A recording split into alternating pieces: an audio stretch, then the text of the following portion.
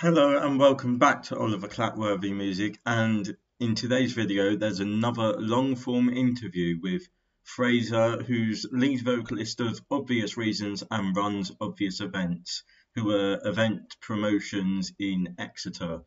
So I'm going to have a little chat to him about uh, just the events company and obviously the band as well and we'll see how it goes. So I'm now joined by Frazer, who is lead vocalist of obvious reasons and rhythm guitarist. Yep, that's right. And he's also obvious events manager slash organizer slash promoter. Uh, yeah, sure, lot, something like that. A lot of things. Or like yeah, the, the, founder of obvious events. I, I'm keeping myself busy. Yeah. Yeah. I just want to know how how do you manage it all? Uh, I don't. I I do a lot of things to be honest. I'm spinning a lot of plates. Um, I found recently that uh, like, sort of the course that I'm on is you used to do the courses. Um, I'm on the UAL performance course, and um, it's kind of split up into like term by term chunks. And I'm getting to the end of my term two coursework now, and all of these deadlines coming up with like all the gigs I'm doing and just all of the stuff combined has been like a lot of things. And uh, yeah, I, I had to step back for a bit. So I, at the moment, I'm sort of I'm not doing as much obvious event stuff as I used to be doing. It was really full on. Um, just whilst I've got coursework. So yeah, to, to answer your question shorthand, I don't, I don't, I don't manage all of those things. Um, yeah, I'm getting better at it. I mean, I guess you've got um FMP stuff coming up very soon, haven't you? Yeah, FMP is like next, like pretty uh, all of the term two coursework deadlines were yesterday. Mean, uh, but basically, FMP Final Major Project is yeah starting on Monday in theory. So, got to start thinking about proposals and all that stuff. Oh, the year one proposal is nothing. Yeah, I I hear this. I hear this from from year two people that they're like, it's it's piss easy. Just it you is. know, yeah. So I think it should be fine. Yeah. Um, so I wanted to ask you. Firstly, we're going to do this in like the two parts of. First part uh, is about the band. Second part about obvious events. So sure, yeah, okay. I want to know how, because like my viewers, primarily based at BIM Bristol, they probably like to know how you formed. Oh, obvious reasons. Yes. Yeah, okay. Starting with the band. Um, so we all just well, so when we first started the band, we were a four piece, but a slightly different four piece to what we are now. So we were um, instead of having Rob, who's our lead guitarist, we had um Annabelle who played keys. Um, and we all met the four of us on our in our A level class. So before I moved to the UAL course, I did A levels, and we did um on our in our music A level class, we all met, and one day we had a cover teacher who uh, he was Sam Tame, and Sam Tame was like, I don't know what you do on the A level course. I don't know, just go and sit around in some bands, I guess, and do some stuff. Like he's just so used to teaching UAL, so he um stuck us into bands, and we. Uh, Medley was like, "Oh, I'm practicing one of my solo performances. I'm doing Are You Mine by the Arctic Monkeys. If anyone knows how to play it, they could come and jam it with me." And I was like, "Oh, I can do that." And then Yuri said the same, and the three of us went in, and Annabelle joined. She was like, "I think I probably know that song." Um, and then yeah, we made our own little. I mean, how do you, how do you not know that song? Yeah, yeah, yeah. But we um we I think we did uh, we ended up covering managing to get like two good covers of uh of an Arctic Monkey song and then uh, an Amy Winehouse song in like half an hour, and then we performed them to the class. So we did like two good covers under our belt in like seconds, and we were like, ah, oh, this is probably a sign that maybe we should keep operating as a band and doing stuff the the name came from a joke in class where we were um sitting around and I someone was I was about to make a particularly dirty joke. And I was I was like oh I can't make that joke for like obvious reasons. And I jested at, at David and um our teacher David and Millie was like go on Frazer. What are the obvious reasons? Tell us Frazer. And I was like no obvious reasons is a great band name like just trying to change the subject. And then we were like oh actually that you know kind of cool. And it, it stuck I mean, all I had to do was I was listening. I must admit, I was listening to the EP just before this interview, and mm-hmm. um, I just typed in O B V I O, and it came up. But I don't know Oh, yeah. whether that's because of like recent searches, like recommending. It, Uh, it might be yeah, yeah. algorithm stuff, but that is still cool to hear that it's like, you know, it's starting to come up in people's like recent searches, algorithms feeding them obvious reasons is very cool. Yeah. I want to ask, what's your favourite song to perform as part of obvious reasons, like that you've done in the set before? It's so hard. And so and this answer is not a universal band answer. Like I think everybody in the band has a different favorite. Um oh, I don't know though. We've just written a song recently called Cyanide. And it's I, I don't I don't think you would have seen it performed. Did you come to the EP release gig? Yes, I did. I was there. Yeah, so what one of the last songs was Cyanide. Um really heavy riffy do do do do do do do do do do do do do. Um it's really fun to do. We love that song. Um that might be my favorite at the moment and I think it it might be the rest of the band's favorite. Millie's written herself a like a quite a complicated drum part. So it's taken her a bit of time to sort of get that under her belt. So we performed it at the EP release and we haven't done it since. But I think we're um we're we're doing a gig not uh obviously not this Saturday today. We're doing uh next Saturday. I think we're going to try and get that song back on the stage. But that's my favorite. And what about your least favourite?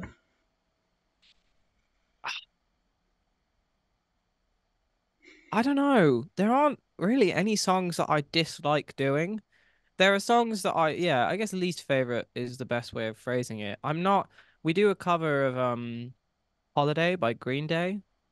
Do and you? like I love yeah exactly. We I we love I love that song. It's good fun but um I don't know. It's just not my favorite to do with the band. Hmm, we we tend to only do it at like pubs Yeah. because you know we're when we're playing like venues and stuff which is I think the only place where you've really seen us is venues um we tend to try and do as many originals as possible because people have paid for a ticket to see you play your original songs but well, yeah when we go to pubs we do some originals but we do a lot of covers as well that people are going to enjoy more. Holiday is one of those songs. I'm gonna spin this back round to me and say my favourite two obvious reasons songs. I think probably one has got to be Beta Blockers, Yeah. and then probably that cover of the chain you did at Move. Oh, th- that cover of the chain is yeah. I think that might be Millie's favorite.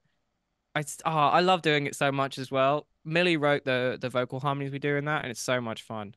I love doing the chain. Yeah, and probably the um, impromptu cover of Are You Mine was really good as well. Oh yeah. Are You Mine is always like every time we do it, we're like, should we just stick Are You Mine on the end because you got time? And then it always goes wrong because we haven't rehearsed it in a couple of weeks, and then I always miss a bit or yeah, I fall over, something like that. Oh. So I wanted to ask you now, like, was there ever a moment where you like, I want to perform, I want to do this, like as a living, I want to perform in front of people? That is actually that's a, a good question with a great answer. The answer to that question is um it was the gig we think I think we talked about this in our messages at some point recently, but the gig at the Phoenix that Die Twice did with the Iguanas and Seneca and I think they were called Idle Giants was the other Yeah. band. Um that that gig was we were already kind of a band. We'd already been a band by that point for maybe two, three or four months. We'd already done two gigs. I think Rob had just joined the band or we'd just done our first gig with Rob, and um, the sort of the summer was coming up, and we were booking some slightly bigger things than what we had already done, and I was loving doing it, but I was sort of expecting it to be like something I do at college, and then it would, you know, it would. I would find a career, a job, you know. um, and I went to that gig and I saw Die Twice play, and I saw it was it was really it was um it was the iguanas and it was um die twice that really were like massive huge inspiration for me to get on the stage. And then at our first gig at move um the the Sephiros came the guys from um uh from the iguanas and they I just told Ollie then I was like dude just such a huge inspiration like the reason I wanted to get on stage and I wanted to go into these venues and like not just doing pubs and um and then someone took a picture of us like I'll see if I can find it whilst um like right after I told him that, and we were both like, he had a, a shirt on it that said Blast Beats, and we were both like beaming. Um, but it was yeah one of my. I favorite. think I remember him wearing that shirt that night. I was like, that Yeah. text font. Here we go. Here's the yeah. Here's the picture. is the two of us together. If I lower my brightness, you'll see it better. But yeah, on that that first move gig, Ollie came, and I was like super honored that he showed up, and I told him yeah how much his performance meant to me. So that's yeah, that was my biggest inspiration. I think was seeing them play. It was my first proper like local gig, and uh, yeah, I was like, this is what I want to do for the rest of my life. Yeah, I love wa- grassroots I, I wasn't at that Die Twice gig. I was in America. Yeah, you were on a flight, right? Yeah, I was on a flight, came back 12 hours later, had a day at college, then the day after invited you down to the TV studio to record Blood on My Oh Alibi. yeah, I've I've forgot that all of that stuff was happening around then. Yeah, Yeah, yeah, that was fun though. I remember that. It was good fun. it was like, at that time, I was like, I've no idea. I've not listened to this band. I only know Frazer and Yuri. I Mm. have no idea what's about to happen.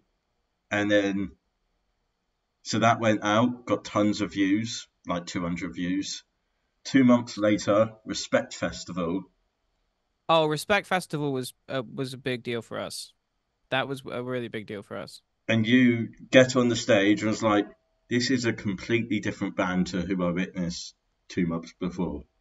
I think when you- when you witnessed us two months before, we didn't have Rob. Rob made such a he makes such a massive difference to obvious reasons, and I think since um we kind of we, when Annabelle was in the band, we were writing a lot of stuff, and Annabelle is she's so busy, she's so unbelievably busy. She does so much stuff. She was sort of coming to band practice and she was like really tired or she was missing band practice sessions. And so when we were writing songs, we were having to spend extra time like catching Annabelle up. Um, and then when Annabelle made the decision to leave because she was too busy, we kind of found that our like our process became much simpler because we were all always going to be there and we were all always going to be invested in the writing process. Um, and so then when we, yeah, I think not long after, um, Respect Festival was when, was when Annabelle was like, this is, I think Respect might have even been the last gig she did with us. I think because she, that was when we she was like, "Wow, you guys are really serious about this." I thought we'd just do a couple of pub gigs. You know, this is I want you guys to do stuff with it that you want to do with it, but I don't want to hold you back. So she moved on. Um, yeah, that was like having Rob and Annabelle leaving with like the combination of those things really like pushed obvious reasons past what I think any of us expected it to ever be. I think it's pushed past what I expected, obvious reasons to be, because that that move gig was probably one of the because I went to four gigs in that like August last two weeks of August period. I did Silver Tree headline 17th of August, uh, Yeah. Future Faces gig, which was really good. Uh, The Jackals headline on the 24th and the Medina headline. And I think, like, obvious reasons blew me away that night because, like, mainly from the energy of the crowd. Like, Yeah, that was unbelievable to us. We've we've kind of been like bit when you when you finish a gig, people often ask you like, "How do you think it went?" or "How did it feel?" And it's like not really up to you because it can feel good to you, but it was it's always really about audience reception. And we've been incredibly lucky to always have a really active, receptive audience. Um, I don't know if that's in part due to the songs we play and write, or if it's to do with the way I frontman, or I, I don't know what it is, but we have always just had the most incredible audience. If there's anybody who's watching who has been in one of our audiences, like thank you so much because like every person in every audience is always giving it a hundred percent for us. And that is um you know, that's something that you can only wish for when you're a performer. Um so yeah, we get really lucky with our performances. And that Future Faces gig was like such a gamble for us because we'd never really played next to before. And then the audience we had was and we were also last on. I was expecting, you know, normally when you have like move gigs, the the band at the end has like a much smaller audience because everyone has to leave because they have to get public transport, and we were like so ready for that to happen. we were like, our audience is going to be really small. Joyride's going to have a massive audience, and then everyone will leave, and that'll be fine. And then our audience was amazing, and it totally blew us away, and it was so exciting. So I mean, I remember you messaging me saying I'm not holding hope for like the mi- the big audience because everyone will need to get home, but it it was pretty packed that night, especially during Flavour the Wicked. Oh yeah, Flavor of the Wicked set that night, I think, was the standout. They they are an unbelievable band. Flavor of the Wicked are so good. Um, it's it's a real shame that they haven't been active recently. Um, but they're they're coming back. Flavor of the Wicked are, are are on the rise. I've been chatting to them recently, and I think, yeah, something soon. Some something something of obvious events Flavour of the Wicked. I I won't say. Yeah, I I don't know. We'll we'll see what happens. There's a lot of things coming up, and we love Flavor, so if there's anything that they want to get involved with, then we we always reach out. Yeah. Would you ever reach out to any bands from like BIM, Bristol? Yeah, yeah, there's a few. I just don't know many BIM bands, to be honest. I've reached out to Pack a few times. Yeah. Um, Pack, I'm really interested in working with them. They've got a great following and they're an amazing band and they've got great energy. Um, I don't really know any other BIM bands. I, I guess I don't go to BIM. went to a gig two nights ago and it was like full of a couple of BIM bands and there was a band called Who Killed Bunny. Um, and Oh, I've actually I've heard of yeah, them. Yeah, they're- I've posted them on the, my story a few times and they're like very like might be where I know them from. it's like indie indie rock, very like it's heavy indie, Okay, but it's cool. like very very good. And there's also a Seems band, seems synonymous with the obvious reasons vibe. yeah, Maybe I'll maybe I'll get in touch. Tough Luck are a like 70s funk classic rock I think I've heard of these guys as well. I'm I've posted them them on on my story before. I did a review on them. Oh, okay, yeah, Yeah, that makes sense. I'm gonna follow them quickly on Instagram. What was the first one called? One's Tough Luck. Yeah. One's Tough Luck and the other one's called Who Killed Bunny. Is it tough spelled like T U double F? Yes, Yeah, okay. I know Tough Luck. And then Who Killed the Bunny. other one, Who Killed Bunny? Who I'll Killed keep them on my radar. Yeah, Cool, thanks. Yeah, I'm always up for working with new bands. Um, I was on the phone with um with Charlie, the she's one of the singers in yeah, I think it was yesterday. She's a singer in Joyride. She's a singer in um Finding Mary as well, which is a bass bar spa band. And she was basically saying like um, you know, both Joyride and Finding Mary are, are gigging and we'd love to get involved in stuff. And I was like, yeah, absolutely. And you know, any bar bands, like please just send everyone my way. Like on, honestly, send please anybody send me a message on on the Obvious Events Instagram page. Um, I I'm up for working with anybody. It's I'm always up for a fun gig. yeah. And I also um, I think I told you I interviewed Fran yesterday, and Yep. mhm. and I mentioned to him like two days ago saying, doing an interview with Frazer, what question would you like to ask him? Okay, And great. his question was, what inspired you to start up Obvious Events? That's a great question. Um, obvious events started for lots of different reasons. The sort of main two were that obvious reasons wanted to start getting gigs in venues, and we didn't know anyone who was going to give us those gigs because we just weren't in that crowd. So we were like, we need to make our own, you know, place. So we basically just got in touch with Move and we were like, hey, we'd love to play a gig if you've got anything going. And they offered us a support for a cover band or something. And we were like, yeah, cool, sounds good. And then as we got more developed as a band and we wrote more original music, we sort of got back in touch and we were like, hey, we actually want to do some like a, a night. We want to book out the space with original bands and you know make a thing of it. And they were like, okay, cool, that sounds good. We'll uh, totally up for that. And we started organizing that and we realized we wanted to make it a, a thing. Um, when we were organizing that gig, I was thought back to um this is probably quite niche. The the the other part of why we wanted to um to do it was because that we went to a gig. Well, I went to a gig. I think I went with Yuri actually.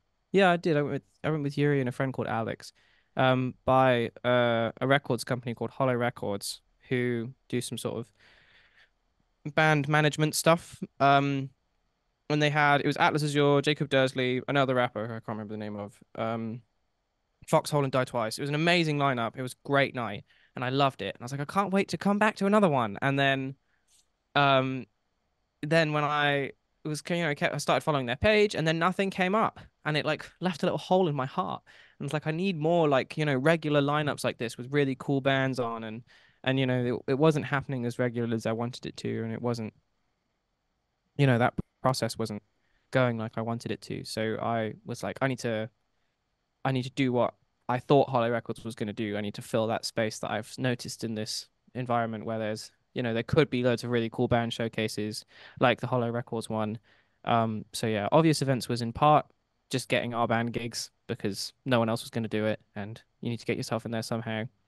But then also just wanting to fill that space with cool band showcases and give grassroots music opportunities to you know like hollow records the hollow records gig helped me discover cool bands that i'd never heard of before i'd never heard of foxhole i didn't know that jacob desley made music and i went to this gig and i learned about loads of really cool music in my area and i just wanted that opportunity for loads of other young people who were just starting up at college or uni who had no idea of the amazing music scene and could come and learn about it so I th- yeah, I think that's kind of the main reason. Supporting grassroots music because I love it. Filling that hole for band showcases and kind of doing as much as I can to get my band opportunities. So I are think, the think my reasons. next next question would be, uh, I'm interviewing Zephyros on Tuesday, and drumroll please, Die Twice on Thursday. cool. Um, what questions would you like to ask them both? Both of them? Yeah. Great. Okay, that's tough because I I already mentioned in this interview that I kind of idolized those guys. Um, like going to that gig was a huge deal for me. Um, I guess probably. Hmm. I'd I'd ask um the Sephiros. I'd want to ask about um. Well, so they've got a new member. Okay. They've got a, a new a new member now. They're a Yeah. four piece. They've gone from three to four. I'd want to ask about what um what kind of new opportunities they foresee the band having now that they're a four piece, because there's so much you can do with another instrument, you know. So I want to ask where they're planning on going with that and what they're planning on doing with it. Yeah. Um, that would be my Sephiro's question. And then Die Twice, I'd probably want to ask about um they went and did um a recording uh session in a studio in Wales. Yeah. Um I'd want to ask about what that studio was like and how they ended up getting into that space and uh, you know uh, you know the, the juicy deets the the goss from from their studio session in Wales would be my die twice question. These are probably questions I will just ask them all when I see them next, Yeah. because I'm sure I'll bump into them all at some point soon, and I'll, I'll get to ask them these questions Yeah. in person. Yeah. I've already booked my Die Twice ticket. Yes, so did I. I was in class, and it was like final deadlines for term two, and I was like, I really should be working, Just but let me get my phone out and just refreshing this page. Like, when can I buy these tickets? Yeah. I wonder who was first buyer then, because I was Yeah, I straight. I, wonder. was straight on it at 10 a.m. Hmm. You are you are like probably the most eager ticket buyer I've ever met. Yeah, anything. Whenever we like sell a ticket, we we'll look on Fatsoma because we sell our tickets for event stuff on Fatsoma, and we'll look and it'll be um like oh who uh it'll be like oh we've sold a ticket. Who's bought it? And it's almost always either you or our like lead guitarist dad. Like those are the first tickets that always sell and we've kind of got this like who's gonna get there first Oliver Clatworthy or or uh, or Rob's dad? It'll be one of the two Have I ever been first? Can you remember? Oh yeah, multiple times. In fact, I think at the moment we've got a gig coming up. I think you're um still I think I was first on uh, Foxhole. yeah, I think you are still the only ticket on Foxhole at the moment. We haven't I haven't put posters up I haven't put posters up around town yet. So Yay! as soon as I do that, I think tickets will If it's just all one ticket sold, it'd be private gig for me.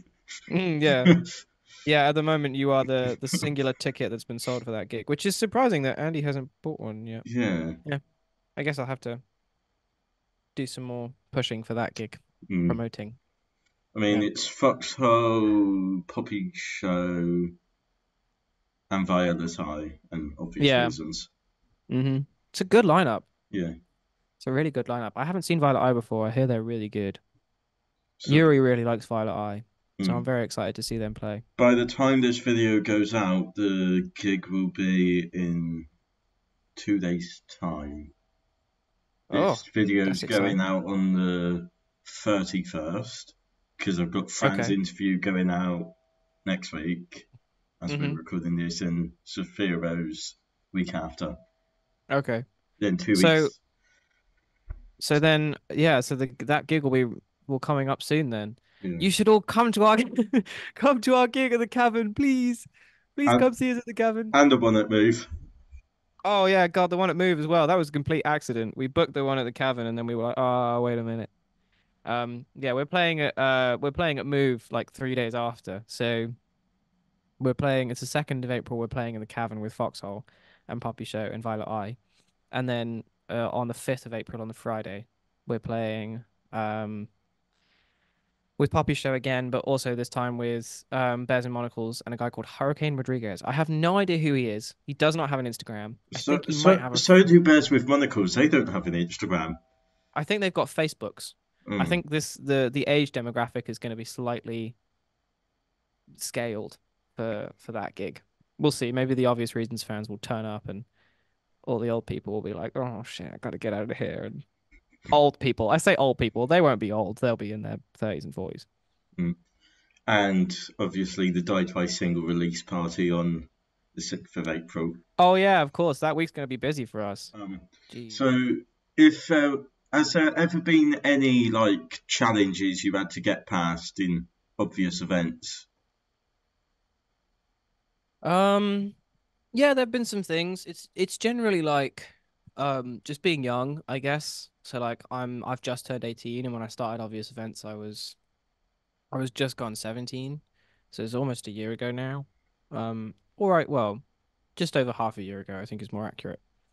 And I was um yeah, there was a lot of things where it's just kind of you want to book serious gigs with serious bands who are really interested in you know making themselves known in local industry and and and people don't take that seriously when a 17 year old sends you an email and is like hello my name's frazer and i'd like you to come play my gig.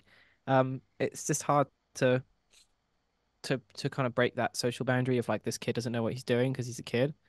Um I think that's probably been the most challenging thing. Like we've been trying to find an engineer for something recently, just a sound engineer.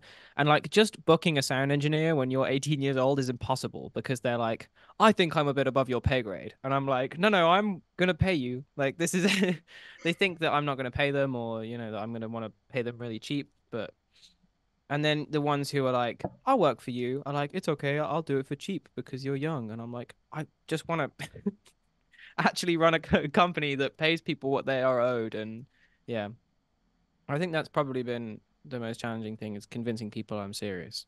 Hmm. Um, but it hasn't been that bad. It's just sort of the venues as well aren't easy.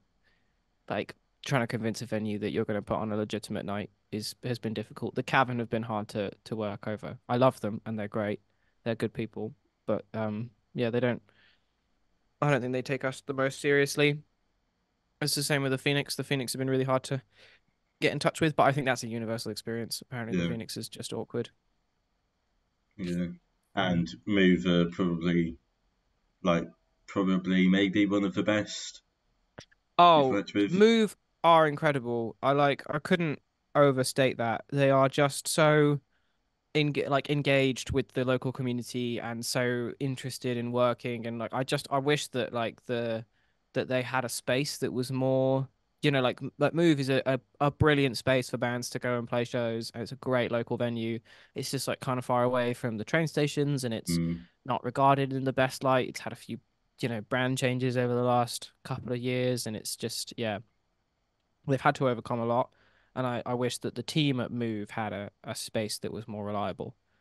But they are they are an amazing team, and I, I've just um they've just hired me to organize events for them, so I'm I'm Oh. part of the Move staff now. Is that something very have to cut out as well? No, that that's okay. I'm okay with that that being in as well. Yeah, other stuff. Um, no, I'm I'm perfectly fine with with that being public knowledge now. There's a few people who know. Um, I'm I'm a very part-time worker, but I am, you know, working. I basically I'm organizing their live music events with a guy called Johnny French. So if anybody wants to play a gig at Move, they can message me or the Obvious Events page, and I will speak to the Move team, and we'll see what we can get you in on. Yeah. Is there any favourite like standout gigs you've performed in and obviously put on as well? Uh, been to or just performed in and Like put on? performed in and like organised. Okay. Um, sta- standout ones I performed at. We played at Festival on the Hills. That was um unbelievable. That was over the summer holidays. We played um uh the we were on the same stage. We were on first, and at the end of the night was Scouting for Girls, which was really surreal to like be on a stage and then to look at that stage later and Scouting for Girls be on that stage. That was a really big moment for us. Um, I think another one that was really significant for us was we played with um, the Sephiras and Seneca at the the late and great Rock Bottom Bar in Plymouth, which is now closed down, unfortunately. But um, that was also a really significant gig for us. It was the first time that like we had been accepted to do something.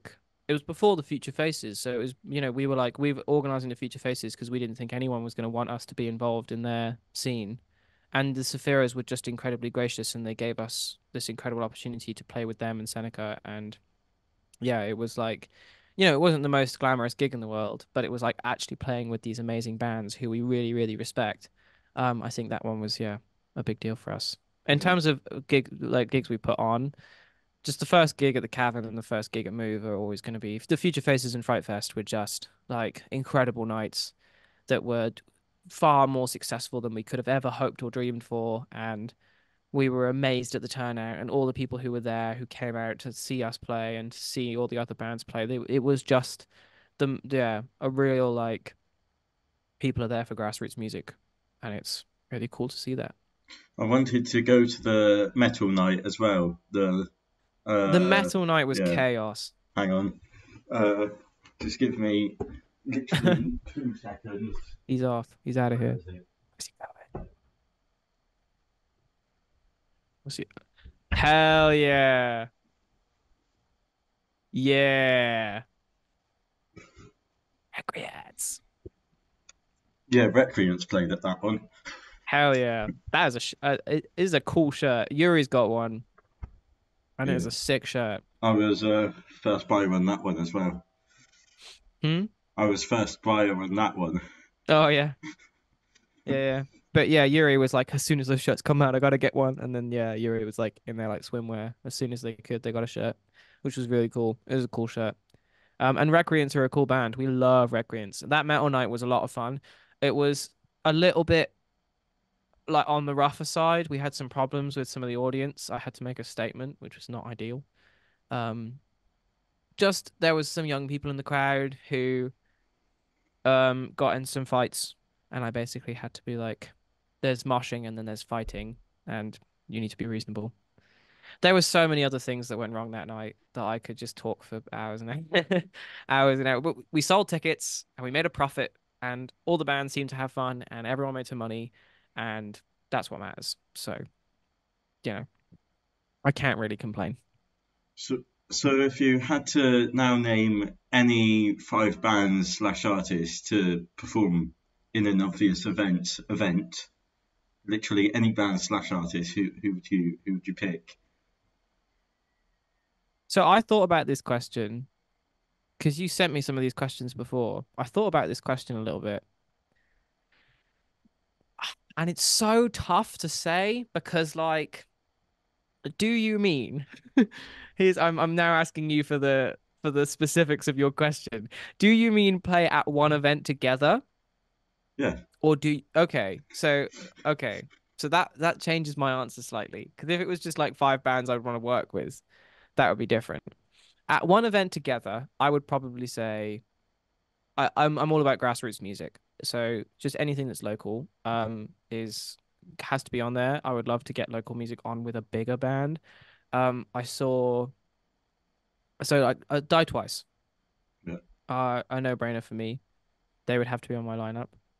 Um, probably the Sephiros or the Iguanas, one of the two. I wouldn't do both. I wouldn't put Oli Sephiro through that. Um, or Zach, to be honest. Both of them work their asses off in both sets.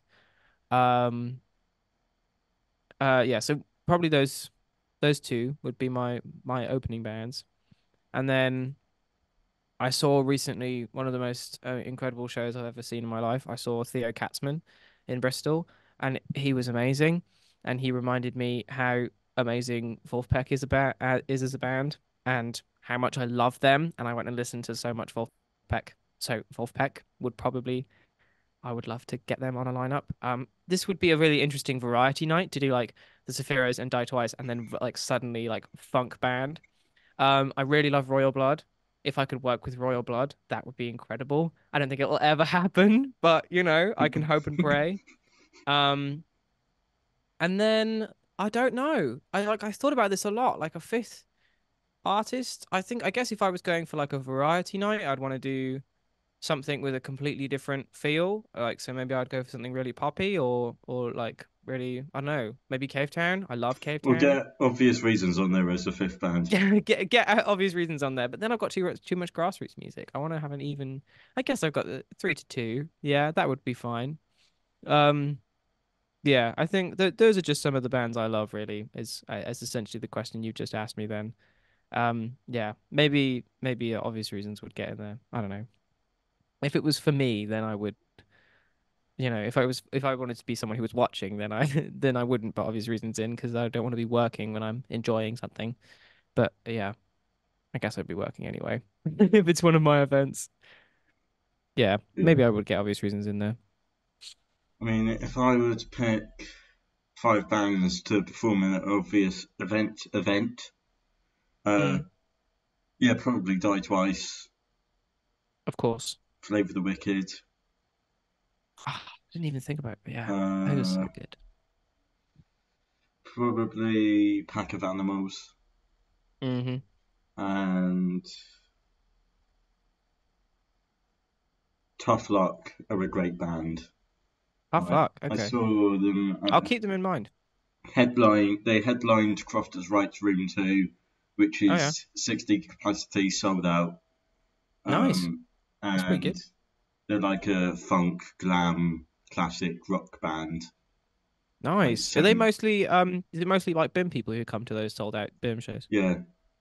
But um, okay. like uh, there was a fair few BIM people down at Pack of Animals headline in Exeter, like when they did Yeah, yeah. Phoenix.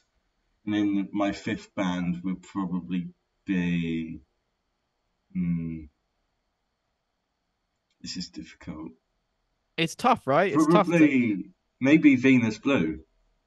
Ah, that's a shout. We love Venus Blue, but Venus Blue are, are really hard to because they they- they've got they're they're all in so many different places now. Mm. They're like, I I don't want to to drag them in from all over the country to do gigs. You know, um, when we can get them, it's a joy. But we were very lucky to have them at our EP release. But we're sort of looking for. We, we we really love their sort of feel and vibe, and we were looking for sort of something that could be similar to that, but we wouldn't mean we'd have to drag Venus Blue to things all the time, because we kind of told them when they gigged with us that we would always love to have them on, and they were like, so we we played with a band recently called Lennon and Zombies, who who are amazing. They're so good, and their EP that just came out is really really good. Um, you should give it a listen, Oliver. I've already it's listened to it. Oh yeah, yeah. I mean, Um, yeah, it's really good. It's a great EP, but um, yeah, they are sort of similar in vibe to to Venus Blue. So when we when we whenever we think now, ah, we should get Venus Blue on for this thing, we're like, no, we have to get Lennon and the Zombies instead. If we can, we'll get them. So that's kind of our. We don't want to. We we love them, and whenever they want to do gigs, we'll get them. But it's hard to drag them out to stuff. And finally, what's your future plans in terms of events, bands? What have you got going on? Loads of stuff, loads and loads of stuff. Most of it I can't talk about. I'll, bl- I'll Um, cut all this part out. You can tell me. I'll keep it a secret. Uh, well, there's there's stuff that I can't even tell you, Oliver. I can't Oh. even tell you. Um, Uh, yeah, he, he from now on is I'll, I'll tell you some things that you might need to cut out. I'll tell you what you can and can't. I'll do stuff you you can keep in first, Yeah. and then I'll be Yeah. like, from now on, you got to cut this. So stuff that's coming up that I can tell you about. Um, obvious reasons are like desperate to get in the studio again. We've got two two or three songs we want to record. Um, we're gonna record a sort of singly type thing, release that, and then after that, studio again, another EP. That's our sort of plan at the moment for what we've got coming up for the future as a band, and then just gigging more and more gigs, hoping to get some festivals going. You know, we would love to play something like just anything really, even if it's not a massive festival like Boardmasters is. Uh, You know, in our heads, that's like the biggest thing we could do right now, and it's like not a huge festival. Um, it is a massive festival, but we would love to do Boardmasters. That'd be really cool. Um, they are definitely already planned for this year though, because they've got Die Twice on their book. Anyway, um, yeah, we'd love to do some festivals. So that's kind of obvious reason stuff. And then in terms of events, just more band showcases. Um, we worked with a lot of, we've done a couple of like duplicate work with recently. We've worked with the same people a few times and we would just love anyone to reach out. If anyone wants, uh, who's Exeter based, who's watching this, wants to do a single release or an EP release, or even they just feel like headlining a gig, like please get in touch and we will help you get a gig. Um, and you know we will pay you, and you will, you know, it will be fun. You will make money. Um, we are in touch with loads of cool venues. We could try and get you in Move or the Cavern, or there's plenty of other places that are, are super up for doing gigging in Exeter. So please get in touch with us. But yeah, so just more band showcases. We've got our Bristol show coming up on the 24th of March, which I think will probably have already happened by the time this comes Yep. out. Yeah, so that will we would have just played in Bristol. Um, uh, Joyride have just pulled out of that gig, so Finding Mary are doing that instead now. Yep. Um, so that that gig's coming up, and then we've got the second of April, which is soon in the Cavern in Exeter. Please come see us and Foxhole and Poppy Show and Violet Eye. It's going to be a great night. I think it's.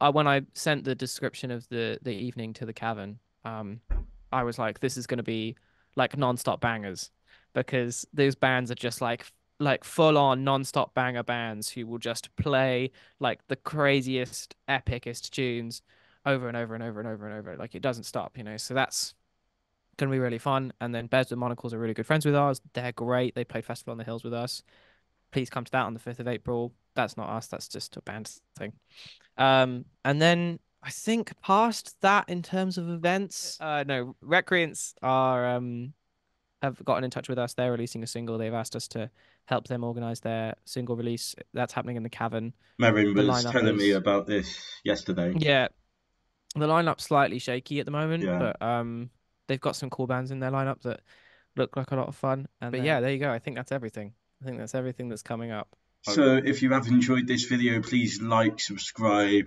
listen to Obvious Reasons, go to the event, and thank you very much for watching.